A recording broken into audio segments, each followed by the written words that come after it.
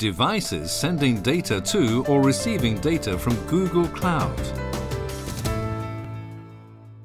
In the context of Internet of Things, you should consider cloud computing as a key technology that will provide you with many benefits, since it's a kind of Internet-based computing, where shared resources, data and information are sent to computers and other devices on demand.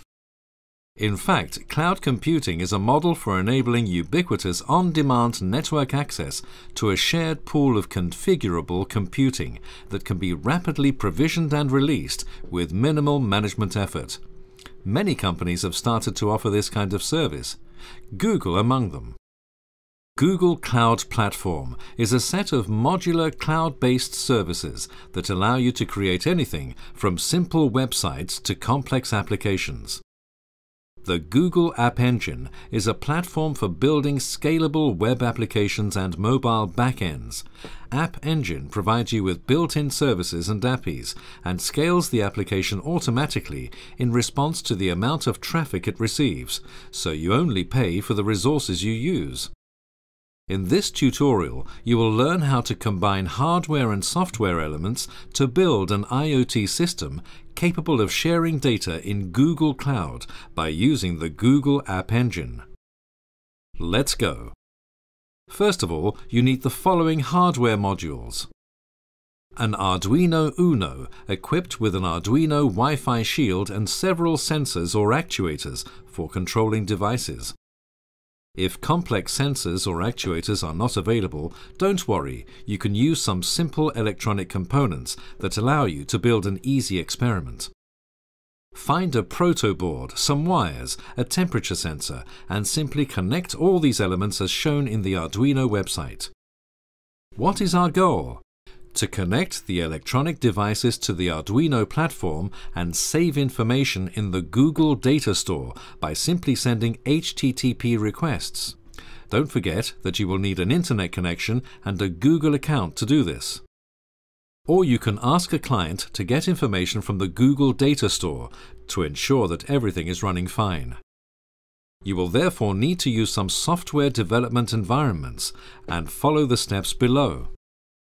First, download the Arduino IDE and install the Google App Engine API as an Eclipse plugin. You can visit these websites if you need information about how to do this. Next, you should decide the format of the messages that will be sent to the cloud. As you want temperature information to be remotely stored, you need to send two datasets, temperature in degrees Celsius and a timestamp. Write the Arduino program that allows you to acquire this information and send it by means of HTTP requests to the Java servlets that comprise the Google app. When you code your Google Web App with Eclipse, you need to implement two servlets, one for storing the data sent by the Arduino and the other for retrieving the information stored in the data store. Once the app has been implemented, Test it by using the local host and if everything is OK, deploy it. Follow the instructions available on the Google website that will help you to create a new app in your developer console.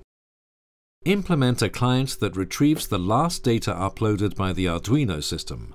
For example, you can choose a web client based on HTML5 and JavaScript or an Android client for your smartphone. See these websites if you need to get the code. Enjoy your application. Now you can think about the extensions you can include. For example, incorporating additional sensors and actuators that can be connected to the same device. Replacing the Arduino Wi-Fi shield by the Arduino Ethernet shield. Modifying and existing the shared information. Writing apps for different devices. In conclusion, we can say that combining IoT and cloud computing paradigms has multiple advantages in the context of information technology business. Using Google Cloud tools means apps can be extended with interesting features, including those related to data security. In addition, scalability is easy the designers can design the data format. This format can be properly extended and modified if necessary, and new sensors and actuators can be easily included.